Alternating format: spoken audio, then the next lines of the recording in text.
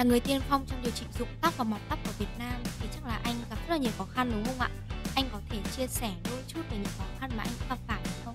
Có rất nhiều, bởi vì mình là người tiên phong. Thì khi mà mình người tiên phong thì anh anh thấy một điều đó là tất cả mọi thứ mình đều phải học và tất cả mọi thứ mình đều phải tự tìm tòi và không có ai là người đi trước để cho mình học cả thì dựa vào những cái kinh nghiệm mà mình kinh doanh chuỗi rồi thì mình bắt đầu là mình đi tìm tòi để mình tìm ra những phương pháp để làm có hiệu quả mà nó lại phù hợp với cái người Việt của chúng ta. Tại vì khi mà chúng ta đang marketing cho một cái dịch vụ mà nó mới về thị trường ấy thì nó là con dao hai lưỡi nhưng mà cái vấn đề của chúng ta đó là chúng ta đang đi giáo dục thị trường. Mà khi chúng ta đang đi giáo dục thị trường thì cái tiền marketing rất là tốn. Nếu mà chúng ta không biết cách đầu tư marketing hợp lý là chắc chắn chúng ta sẽ lỗ. Thì đấy là khó khăn đầu tiên về về cái, cái vấn đề về marketing. Cái khó khăn thứ hai nữa là gì ạ? Đó là rất nhiều hàng người ta không thể tin được tóc có thể mọc lại và bây giờ chúng ta đang phải đi thay đổi cái khái niệm đó. Nhưng mà đối với những cái thị trường ở trong khu vực phía Nam thì anh thấy nó, dễ hơn rất nhiều tại vì người ta thích khám phá cái mới người ta thích chấp nhận cái mới. Còn đối với những cái thị trường ở ngoài Bắc này thì nó phải được gọi là từ từ là mưa dần đâu đấy. Đấy thì đó là một cái thách thức dành cho bản thân mình khi mà mình phát triển ra một cái chuỗi liên quan tới mọc tóc.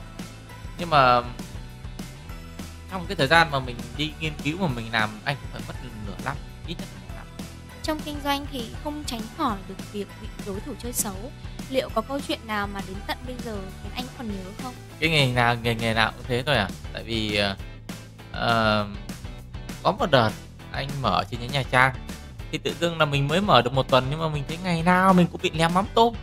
Sau đó thì mình có đi check camera thì camera mình cũng bị lém sau đó thì mình thấy là có rất nhiều các thanh niên trai tráng nhỏ nhỏ gọi là thiếu niên đấy thì các bạn cứ lém bóng tôm vào nhà mình thì mình thấy mà mình mới mở đây mình cũng đã gây thù chuốc ăn với ai đâu nhỉ người ta đã lém cho mình. Hóa ra là những cái đối thủ bản địa người ta không muốn mình xuất hiện ở đó. Bởi vì thứ nhất họ lo sợ là mình sẽ lấy thị phần của họ nên họ sẽ thuê rất nhiều các bạn uh, khác người ta đi làm những hành động như thế. Và làm cho cái tinh thần của nhân viên của của anh nó bị nhụt chí và các bạn ấy bị sao động là làm việc ở đây chắc chủ ở đây chắc làm ăn không có tốt hay là gây thù chuốc ăn với ai mới có người phá hoại như vậy. Nhưng mà sau đó thì anh quyết tâm là anh phải tìm ra bằng được.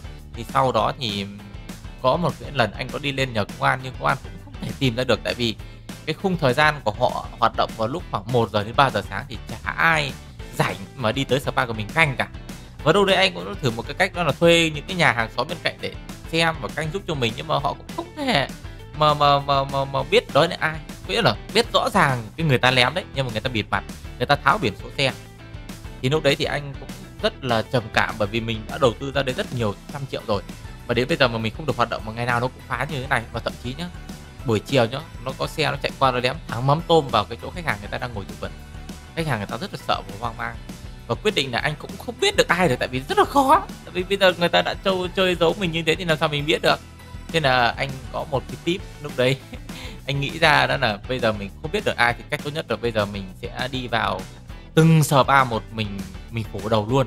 Thế là anh cũng không biết ai luôn anh cũng đi vào từng cái spa mà mình nghĩ là họ có thể là những người làm vấn đề đó. Thì anh đi vào 10 cái spa và anh thuê những người mà đi cùng với anh vào 10 cái spa đấy để khổ đầu hết. Anh spa lao anh cũng khổ đầu. Thì đương nhiên rồi làm sao người ta nhận đến là của người ta được nhưng ít nhất sau cái đợt đấy anh đi phủ đầu đó thì không còn cái hiện tượng đấy xảy ra nữa. Thì đó là một cái cách anh đang xử lý vấn đề đó. Em thấy ngoại trừ spa đầu tiên của anh là mở ở trên một căn gác lửng, thì mọi mặt bằng của anh, cả spa lẫn chuỗi tóc đều là ở mặt đất, cả những cái tòa nhà luôn.